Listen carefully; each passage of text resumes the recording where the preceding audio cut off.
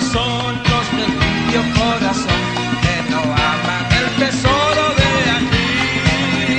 De tranquilidad y paz gozan cada día más y del cielo gozo tienen ya.